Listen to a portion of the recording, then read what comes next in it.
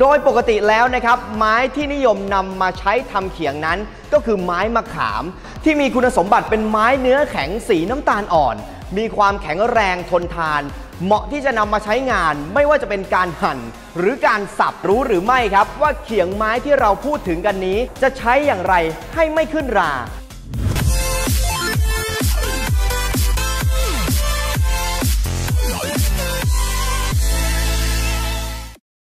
ยินดีต้อนรับเข้าสู่ช่วงสาระน่ารู้ครับคุณผู้ชมครับ ถ้าพูดถึงเขียงแล้วเนี่ย ผมเชื่อเหลือเกินครับว่ามันคงเป็นอะไรที่คุ้นหูกันอยู่แล้วใช่ไหมล่ะครับ เพราะว่ามันเป็นอุปกรณ์คู่ครัวคนไทยมาอย่างยาวนาน แต่รู้หรือไม่ครับว่าเขียงไม้ที่เราพูดถึงกันนี้ทำมาจากไม้อะไร และเราจะใช้อย่างไรให้ไม่ขึ้นรา วันนี้ปอนมีเคล็ดลับดีๆมาฝากทุกคนกันครับ ก่อนอื่นเลยนะครับต้องขอบอกก่อนนะฮะว่าเขียงนั้นนับเป็นภูมิปัญญาไทยที่นำไม้มาสร้างสรรค์เป็นอุปกรณ์ของใช้ในครัวเรือนมาแต่ช้านาน โดยปกติแล้วนะครับ ไม้ที่นิยมนำมาใช้ทำเขียงนั้น ก็คือไม้มะขาม ที่มีคุณสมบัติเป็นไม้เนื้อแข็งสีน้ำตาลอ่อน มีความแข็งแรงทนทาน เหมาะที่จะนำมาใช้งาน ไม่ว่าจะเป็นการหั่นหรือการสับ ไม่ว่าจะออกแรงเยอะแค่ไหน เขียงไม้มะขามก็เอาอยู่ครับ ไม่เพียงเท่านั้นนะครับ เวลาที่เราทำอาหารเนี่ยก็จะไม่มีกลิ่น หรือรสติดไปกับวัตถุดิบ แต่หากเมื่อเรานำไปใช้งานนานๆ มันก็อาจจะเกิดคราบดำๆขึ้นได้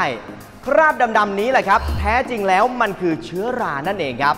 ซึ่งหากปล่อยไว้ย่อมไม่ดีแน่ๆ เพราะมันอาจจะกลายเป็นแหล่งสะสมเชื้อโรค เวลาที่เราทำอาหารแล้ววัตถุดิบของเราปนเปื้อนไปด้วยเชื้อราเนี่ยมันก็คงไม่ดีใช่ไหมล่ะครับ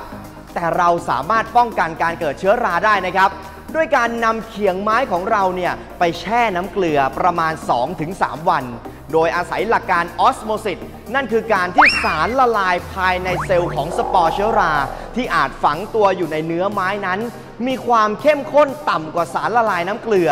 โมเลกุลของน้ำในเซลล์ จึงเคลื่อนที่ผ่านเยื่อหุ้มเซลล์หรือออสโมซิสออกมาสู่น้ำเกลือ